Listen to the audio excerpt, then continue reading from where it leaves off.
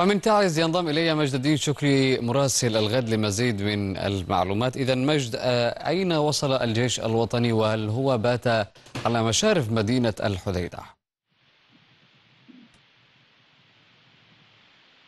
نعم وائل قوات الجيش أو قياده الجيش الوطني والتحالف تدرس إمكانية إدخال القوات من التدخل السريع إلى مشارف مدينة الحديده ربما البدء بعملية عسكرية أو مرحلة جديدة من التصعيد العسكري ضد ميليشيات الحوثي في مدينة الحديده، القوات لم تبارح أماكنها حتى هذه الأثناء. لا ليس هناك تقدم كبير في المناطق التي وصل إليها الجيش خاصة في منطقة أو مديريه الدريهي وأيضا مديرية بيت الفقيه. لكن كما تحدثت القيادة العسكرية تدرس إمكانية إدخال فرق من قوات التدخل السريع ربما لتفادي وقوع ضحايا من المدنيين خاصة وأن الميليشيات تستخدم المدنيين دروع بشرية و دخلت إلى الأحياء السكنية أو نشرت قواتها في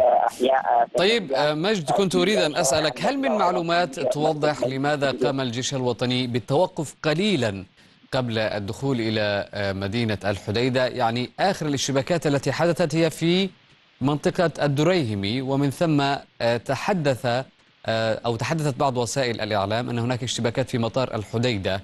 هذا التوقف هل له من مبرر؟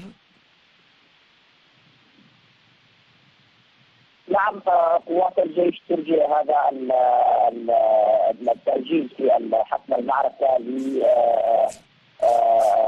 على سلامة المدنيين والأهالي في مدينة الحديدة. يقال بأن الميليشيات نشرت قواتها في الاحياء السكنية وفي أوساط منازل أو في محيط منازل المدنيين. وهذا ربما الأمر ربما يعرقل من سير العملية العسكرية. هناك أيضا يعني أسباب أخرى أجت التقدم أو أخرت الحسم وتقدم القوات وهي زراعة الألغام بشكل كثيف جدا من قبل الميليشيات في نعم. الطرق الرئيسية وأيضا في الخط الساحلي وهذا ربما الأمر يحتاج لبعض من الوقت حتى المعركه. شكرا جزيلا لك مجد الدين شكري مراسل الغد كنت معي.